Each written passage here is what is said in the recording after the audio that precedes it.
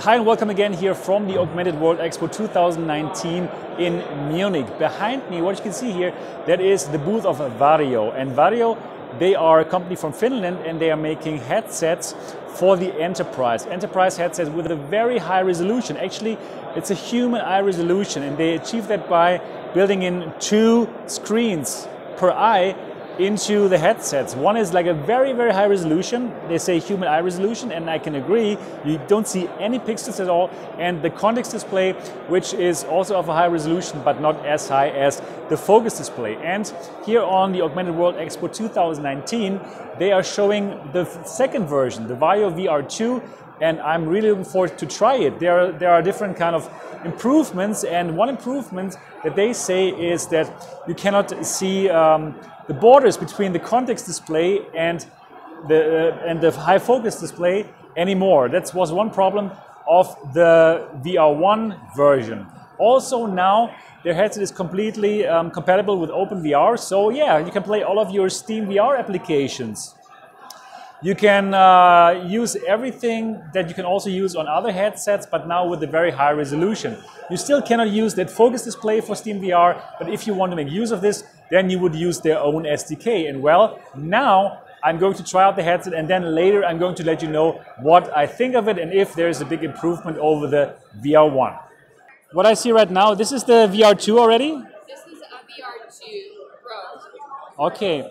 And what is the difference between the VR2 uh, Pro and the VR2? So the difference between VR2 and VR2 Pro is with this VR2 Pro that you are uh, that you have on your head, uh, it has hand tracking. Okay, hand tracking. Oh yeah, there's my hands. Wow. Can you show that on the on the Yeah, screen? Yeah, I'm showing it. Wow. And then also I can do something like, oh, I can change the scenes. Yes. Nice.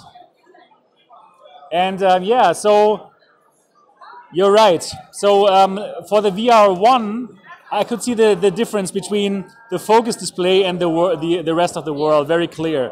But for the VR2, I can still see it because it's super sharp here in the center. But I don't really see any so so clearly the frontier between them. So this is much. This is way better. Wow, this is impressive. Wow, this is so clear. Nice. And the context screen also has now a higher resolution than the VR2, the Uh, no, VR1? it has the same resolution. Same resolution still. The fact that we've kind of changed the or enhanced the color consistency and made the blending easier, it, it's, it looks better. Overall, it looks better. Wow, I, I still love the focus display. It's just, yeah, it's it's amazing. It's really amazing. And how many um, peop- um, what's the resolution of the of the focus display? So the focus Or the dots per inch? Is, uh, 60 pixels per degree.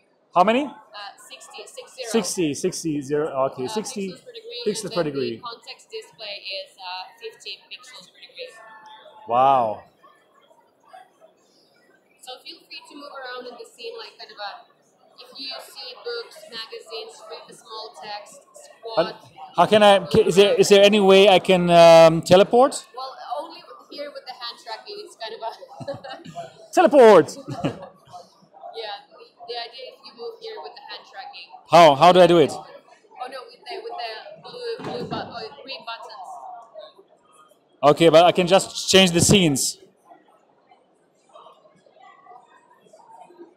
Yeah. Anyways, that's okay. Okay, shall I help you with the headset off? You want me to? I'm uh, I'm still looking at things. Oh, oh, oh, sorry. I still want to see like just how clear it is. sure, go ahead. Take your time. All right, so I've just tried the VR2 and the VR2 Pro myself, and I can simply tell you I'm coming away impressed from these two headsets. Definitely, definitely a big improvement over the VR1. I already like the VR1, especially, of course, the human eye um, display in the, in the focus area, but my problem was that you can really easily see the borders of it. Now, with the VR2, they have worked really hard on eliminating that border. You can hardly see it anymore. And yes, you can tell that in the middle still it's way better, the resolution is way better, but you don't have this kind of hard edge that you had for the VR1. So definitely super big improvement and um, yeah, very, very nice. Then also now you can you can use your VR your Steam VR and Open VR content.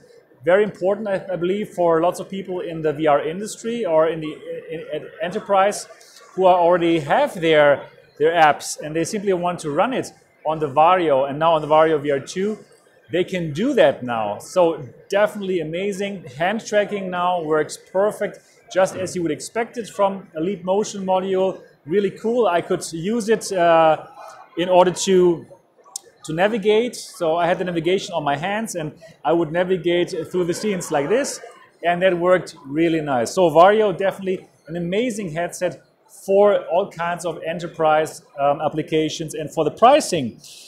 Uh, the VR2 without the hand tracking costs 4,995 euros, and the VR2 Pro with the advanced hand tracking will set you back 5,995 euros. So exciting for enterprise applications and that human eye display in the center. It's simply breathtaking. It's it's just like it feels like real real life, real world, since you cannot see any pixels anymore. And um, yeah, I'm coming away impressed here from Varjo. And also, they have the Varjo XR1 in works. And what is this? The Varjo XR1 is a device which has like two cameras, like, like high-def cameras, and it will make this an augmented reality headset. And I believe that's super, super exciting. And I can't wait to try it out myself and uh, yeah, I have plans to visit Varjo at their headquarters and try out try out the XR1 there. All right, if you want to get in touch with Varjo and if you want to try their headsets, you can do so on their website. I believe it should be varjo.com, but I'm going to put the link to their website down into the description into the into the description box of this video below. I hope you enjoyed this video from Augmented World Expo 2019. If yes, give it a thumbs up. And of course, if you've not yet subscribed to MRTV yet, do, do so now. And I'm looking forward to see you in the next episode. Bye bye.